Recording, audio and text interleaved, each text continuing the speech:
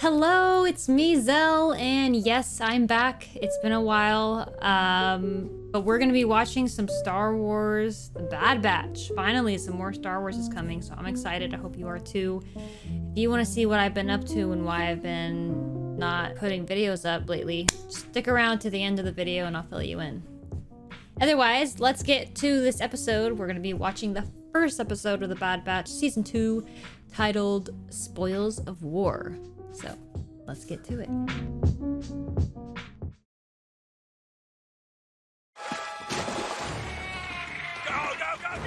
And here they are.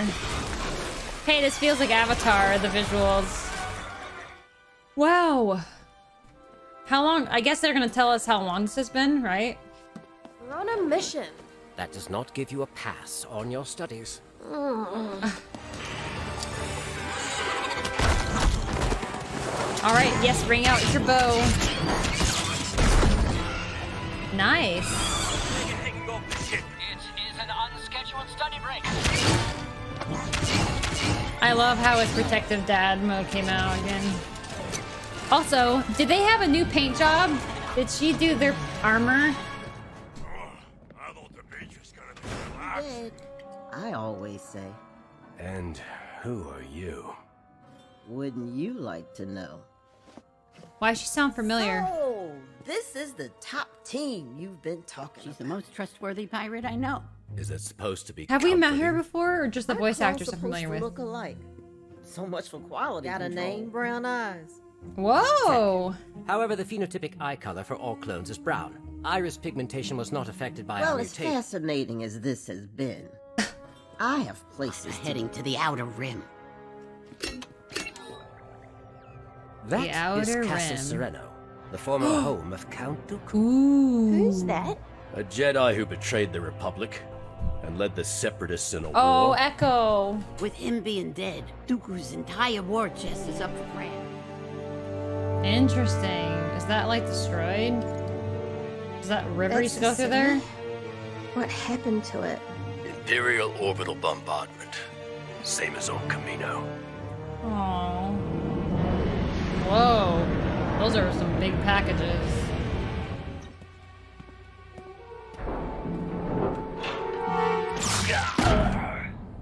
They did stun for the boys. Say, that qualifies as high value.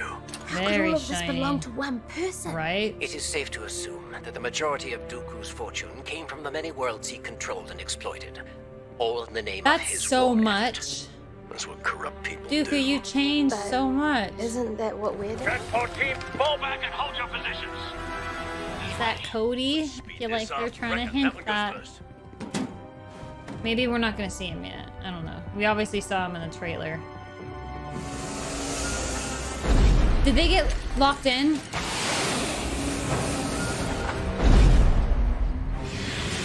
Oh Ship's taking no. off. Get out of there. Hurry! Not hiding anyway. Stun, stun, stun. Oh We snap. have a perimeter breach. Thousands upon thousands of miles above the. s- Who just does that?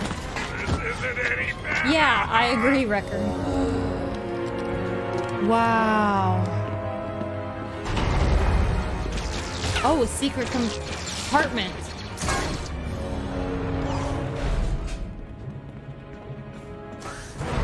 Oh, Release the escape pods. It's their only way off Ah. the ship. no! Containers on Class 4 freighters are equipped with re-entry thrusters. We can escape in a cargo container. Oh, that. You are correct. I am impressed. Aw. However, the containers must be ejected before leaving the atmosphere. We're not going out. We're going down. We're going down, down. Cover me. Wait. Oh.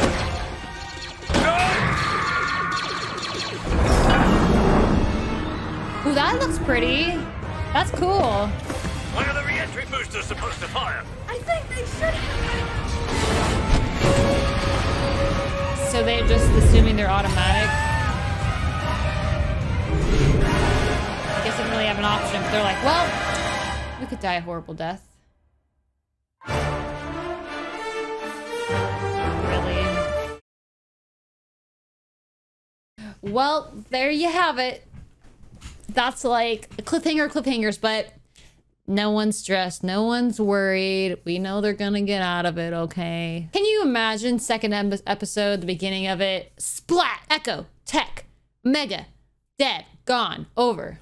Bad Batch, Hunter, Wrecker, maybe they get Hot Crosshair back in the mix. But no, that's not gonna happen, so. Either way, fun, good intro episode. Um, just right, right back to it, right back to their bounty hunting job, trying to buy their freedom back, pay off their debts, start a new life. You know, Hunter kind of wants to start a family and focus on taking care of Omega, and they just kind of want to retire. But, well, Hunter wants to retire, but it sounds like Echo and maybe the others, they're kind of wanting to use what knowledge and skills they have to help people. And I think, you know, Hunter's kind of the lone one that's not really focused on that. I think even Omega wants to help people. You know, and I think this will this season will probably lead up to that, constantly trying to show that, you know, what they do makes a difference and fighting back and fighting for what they believe in and finding that new purpose because that's part of what episode 1 was kind of talking about was finding a new purpose because they were a special class and fighting for the republic and then the republic was and they're like dude, what do we do now? Everyone's betraying us. Everyone's gone cuckoo, and now they're trying to nix us. So they're running for their life. They're trying to just be like, okay, clearly the Republic is no longer in the Empire. We don't want any of that. And so now what? We have all these skills and training, and uh, now this little this little gal, our family, and you know it's certainly starting to grow on some that idea. Like Echo certainly seems part of that. He's been through a lot. He knows kind of what he wants to turn his life towards. Um, but yeah, so it's an interesting. Um, it'll be an interesting direction. We're obviously gonna see Cody at some point. I imagine they're gonna obviously, hopefully, show his crosshair. There's a empty, there's a open-ended non-closure story that's going there. Um, I hope to see some more familiar phrases. That'll be cool. Always a fan. But yeah, the crew's back at it again. They're having fun. Omega's all grown up and she's learning lots, has a very smart brain. She is uh like one of them, the clone, but also her own person, right? So anyways, I enjoyed that. I hope you guys did too. It was fun to record and see some more Star Wars again, and I hope you guys did too. Um, stick around if you want to know why the videos have been a little bit less recently. Basically, I have been decided to be on a hiatus and just playing it more cool. Kind of two things going on. On one hand, I was just a little burnt out. And honestly, I still a little am but I'm wanting to do some of the Star Wars stuff, so that's what it brought me back. And on the other hand, also is I have a new puppy. His name's Calcifer. Calcifer. He's a corgi, and he's a handful. And when I'm home and have time, he basically occupies all my time. You know how puppies are, chewing on things, pooping and peeing, barking, and just needing attention. So, and he's not really in the phase where he's napping for hours at a time. He has a lot of energy. So it makes it difficult on times that I'm home where I would usually record a whole bunch. Now he's home with me and I have to be giving him full attention. So everything else is going to be putting on a back burner until he's vaccinated and I can take him, do more things, tire him out, and also just him getting more grown up. So things are probably going to be a little different in that regards, but yeah, anywho, that's kind of what's been going on. Um, and I've just kind of been enjoying doing things in my downtime. I realized I was starting to get a little bit stressed, always thinking about timing and making sure I record in time and playing the game of getting things out and fast enough so you get enough views and interest. Otherwise, you fall under the radar because the algorithm and there's so much things to keep up with and it just gets really stressful. And I didn't really want to become that person that I started to feel like it was impacting me. You know, I don't really see myself nor want to be a full time content creator strictly because I know it occupies basically every all your free time. Um, everyone I know who puts out content daily, if not just a couple times a week, it takes a lot of time. Um, and that's me not even editing my own stuff. In case you didn't know, most people do know that Sun Sons of Sun is my editor and has been from the beginning. Um, and that's a huge load off. So I didn't want it to impact my life by occupying all of my free time. And if I, even if I wasn't actively recording, it was taking up my mental free time and I was stressing about it and then I would just do nothing trying to think about what else can I put out and what else can I do? And I'm not doing enough or or I'm doing some stuff and nobody's watching. It's pointless that sort of thing. So I'm just gonna focus on the things. Start you know just do it small. And when I'm in the mood if I'm having feeling gun-ho I'll do it. So that's why things are sporadic. That's why things seem not a schedule and why I've been tampering off.